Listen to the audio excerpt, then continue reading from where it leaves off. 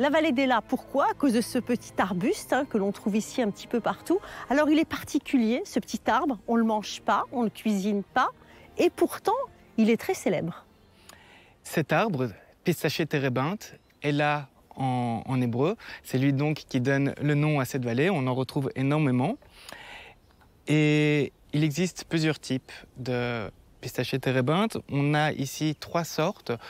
Euh, on a des arbres qui sont un peu plus grands, qui vont jusqu'à 4-5 mètres de hauteur maximum. Et puis, on a celui-là, qui est spécial, qui est tout petit. En hébreu, on appelle elata mastic, ça veut dire le térébinthe chewing-gum. Et en effet, on ne peut pas le manger. Par contre, ses feuilles sont euh, mâchées depuis l'Antiquité. Et d'ailleurs, ça endort un petit peu la bouche. Donc avant d'avoir des chewing-gums, ben, les gens y mâchaient la feuille de cet arbre.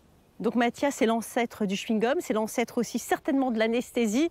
Moi, je vais vous goûter ça, puis je vais vous dire ça tout de suite. hein. On y va.